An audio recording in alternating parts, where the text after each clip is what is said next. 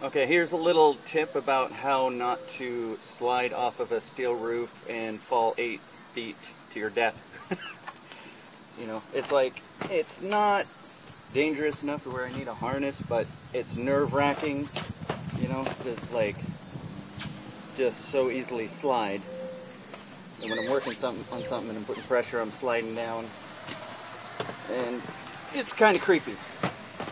So like went to Walmart and got this uh, rug mesh. You can see the mesh on it. There are a couple of different kinds. This kind seemed like the best. And it was about eight bucks, I think. And you just wear it like a towel. You know,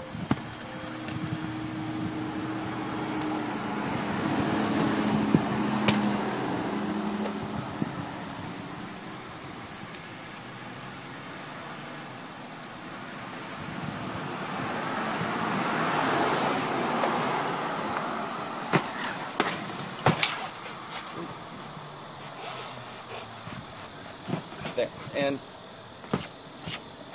makes it very difficult to slide. So you can do all your work and stay really secure.